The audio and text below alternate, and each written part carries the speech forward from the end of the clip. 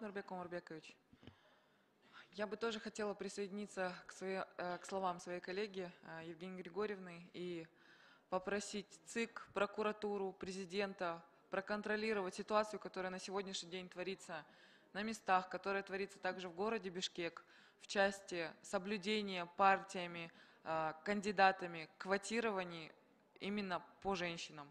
Сейчас сложилась такая ситуация, что, к сожалению, женщины вынуждены бороться за свои места, которые обеспечены им конституционными законами.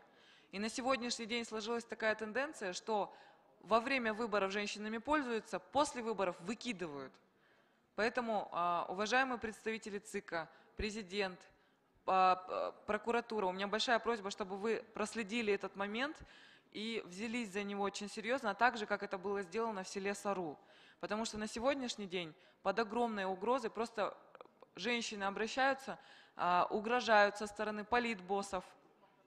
Мне очень страшно за то, что происходит. К сожалению, в свое время такое же происходило и в парламенте в начале созыва, когда просто выжимали всех женщин, и на сегодняшний день всего лишь 19% представлены даже в самом парламенте. Для этого, а, но я хочу также попросить женщин бороться за свои права, не забывать о том, что у них есть точно такие же права, как у других кандидатов. Эти квоты закреплены конституционным законом.